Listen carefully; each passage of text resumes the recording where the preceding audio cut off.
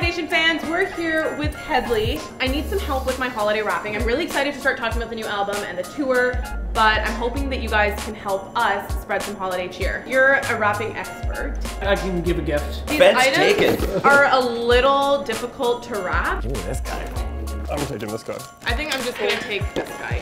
Ready, set, go. I'm gonna jack my scissors. Guys, do you have any holiday traditions? I usually do a lot of baking and I'll make a recipe of my mother-in-law's. Cream cheese uh, pastry rolled in sugar with like cinnamon and raisins inside. It's delicious. I feel really, really bad for whoever's gonna open Jake's gift. What's the worst Christmas gift you've ever received? My mom actually bought me a 1999 vest that had like 1999 all over it. She's like, you wear it on New Year's, it'll be great. Whoa, Jay's done.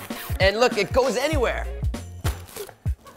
You guys are going on tour early next year. Is there any holiday R&R that you have planned? We'll all go somewhere hot, sit on a beach, smoke a couple beers, and we'll hit the road. Was this a helmet? Hockey helmet. Oh, I think that was the Girls, hardest one. No tape.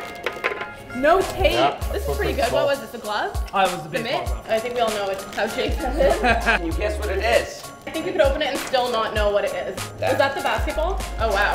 Oh, the Pretty duck good. the wheel. So I think we have a tie. Between me and who?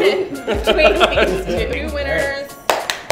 The new album, it sounds really different, it looks really different. Yeah. But I feel like it's still Hedley. With everything we do, it, we put ourselves into it. It allows us to kind of experiment a little more than normal and really kind of push ourselves out of our comfort zones, knowing that whatever it is we end up doing, it's gonna feel like who we are. It's gonna sound like who we are. I think Cageless is a really sound representation of, of the way we feel, you know, comfortable in growing. Is there a song off the album that you're most excited to start performing Yeah. live? Better days.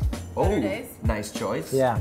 I like um, Obsession. Now I'm uh, bad tattoo. I'm looking forward to see what, uh, what fans are gonna like because we can pick whatever we like, but fans are the people that dictated that we play Sweater Song still to this day. Well, thanks so much for all your help. I feel like we should auction this one off. For more tour info and album info, check out the link in our bio. Thanks, guys.